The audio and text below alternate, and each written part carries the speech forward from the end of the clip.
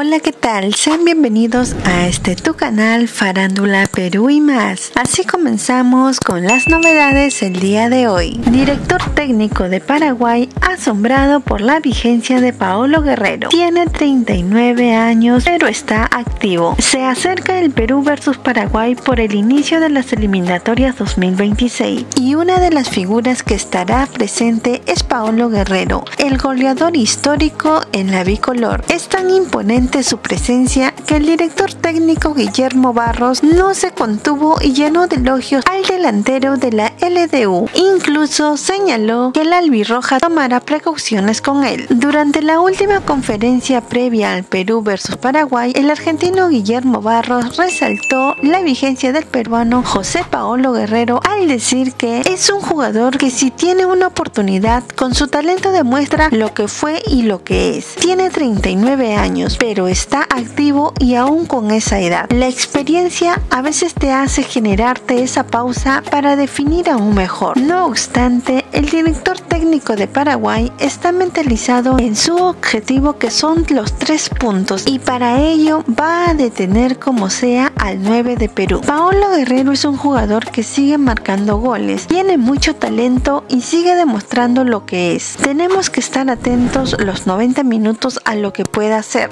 Como se sabe, Paolo Guerrero superó con éxito su lesión en la rodilla y su crecimiento futbolístico ha sido destacable. Pasó de Abaí a Racing Club y luego llegó como el delantero estrella a la LDU de Quito. Perú versus Paraguay, fecha y hora del partido. El compromiso internacional de Perú versus Paraguay por la jornada 1 de las eliminatorias de 2026 se llevará a cabo en el Estadio Antonio Aranda en Cine de Ciudad del Este. El choque está programado para este jueves 7 de septiembre a las 17 y 30 horas de Perú. Gracias por ver el video, no olvides de suscribirte, activar la campanita para más novedades. Nos vemos en una próxima edición de Farándula Perú y más.